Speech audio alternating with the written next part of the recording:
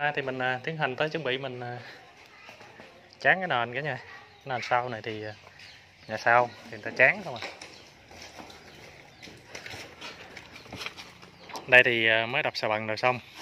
Cái này của cái nền trung viên của cái à, nhà sau ha. Nhà mình cũng đã lấy mật kiếm rồi ha cả nhà. Đây thì nãy mình à, mới lấy máy mình bắn lấy mặt bằng rồi. Cái mực xanh xanh đó đó. Rồi xong mình đo xuống đây nè. Mình lấy cho nó cao lên một tấc mình đo xuống đúng một tấc vậy nè là là cứ vậy đó mình cứ bắn mực giáp vòng hết. Đó vì là mình à, đã ghém rồi hết từng cục từng cục vậy đó cái nha ghém cái đó là để mình lấy cái mặt bằng á. Bởi vì đất mình à, vô này nọ với sa bằng á nó nhiều khi nó cao thấp.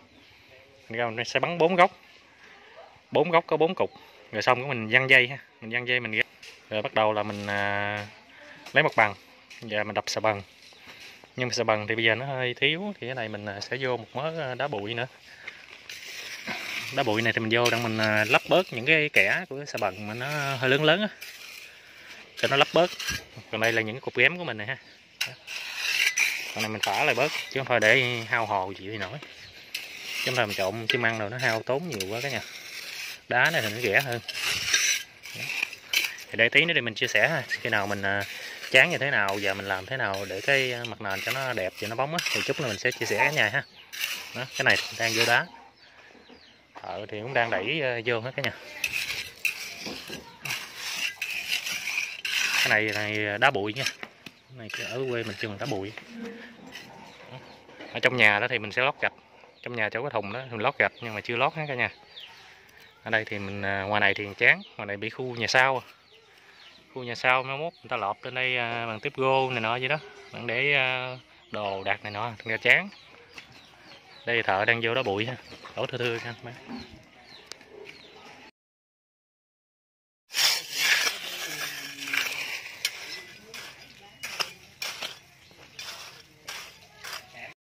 Rồi đây thợ đang bắt đầu ờ, chuẩn bị ờ, sàn cát đang mà ờ, chỗ hồ cán nền hết cả nhà.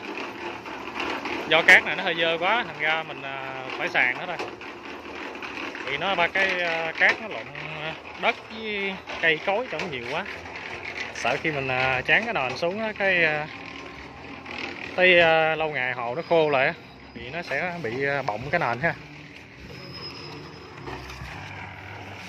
Đất rất nhiều luôn ha. Đó, những cái hộp hộp lăn lăn toàn là đất không. Lý vét lại cho nặng nặng tay đi, chán nền mà.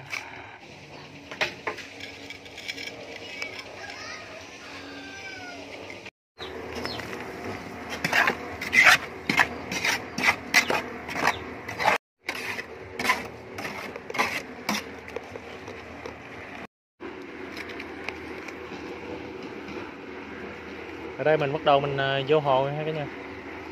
Nền sáng mình à, ghém và vô đá thì bây giờ mình à, bắt đầu mình chọn hồ mình cán ha. Thì cái hồ này mình chọn tỷ lệ là 6 thùng cát, một bao xi măng nha cả nhà. 6 thùng cát và hai thùng nước, một bao xi măng ha. Là cái mặt hồ mình chán rất là là vừa ha cả nhà. Thì để tí nữa khi nào mà mình làm cái mặt nền nó xong đó, mình sẽ chia sẻ tiếp cả nhà nha rồi, còn đây là bước là để mình à, cán lấy mặt bằng nha cả nhà. Đây, những cái cục hồi sáng mình ghém nè. Mình ghém đây một cục, và đằng à, góc gốc một cục đó.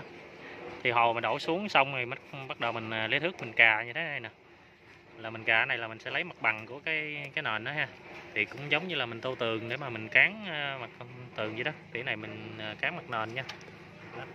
khi mình cán qua rồi là thấy nó rất là là bằng phẳng cả nhà còn à, như lúc mình chưa thì nó sẽ rất là hôn hang nha Đó. đây là một cái mặt hồ lúc mà mình chưa cán thước nha cả nhà. Mình à, mới phả ra nè. Mới phả, mình chưa cán thước thì mặt hồ nó sẽ à, hôn hang như thế này ha. Và khi mình cán xong thì nó sẽ bằng phẳng như thế này ha cả nhà. Nhưng mà thế này là chưa rồi đâu. Một chút mình còn một bước nữa là mình để làm láng nó nữa nha. Thì tí nữa mình sẽ chia sẻ tiếp với nhà nha. Rồi sau khi một hồi thì mình à, hồ nó cũng đã gáo mặt rồi. Đó thì thợ đang à, cán lại nước hai. Cán lại nước hai ở đây thì thợ bắt đầu à, chà nha cả nhà. Đó. thì cái này mình trà chà cho nó bằng những cái lỗ lỗ lỗ lại những cái lỗ mình cán nó thiếu hồ giống vậy nè. Đó. sau khi mình chà rồi cho xong mình đi bay thì cái mặt hồ nó sẽ bóng về hay cái nhà. Đi bay cái mặt hồ nó rất là láng nha bị cái nền này do cái nền nhà sau, thành ra người ta mà mà chỉ ờ, chán xi măng thôi. Đó thợ đang đi bay ha, đi bằng cây ờ, dao chắc bê cái nha.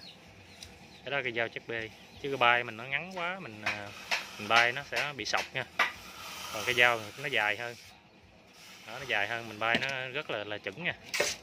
Nên ra mình lưu ý gì bay mình đi cũng được, nhưng mà cái bay mình nó nhỏ mình đi nhiều đường quá nó sẽ sọc sọc sọc giống như giận sống vậy đó. Coi nó không đẹp đó, còn dao mình thì ờ, nó dài đi cái nó bốc hới mà nó, nó rất là phẳng hết cả nhà.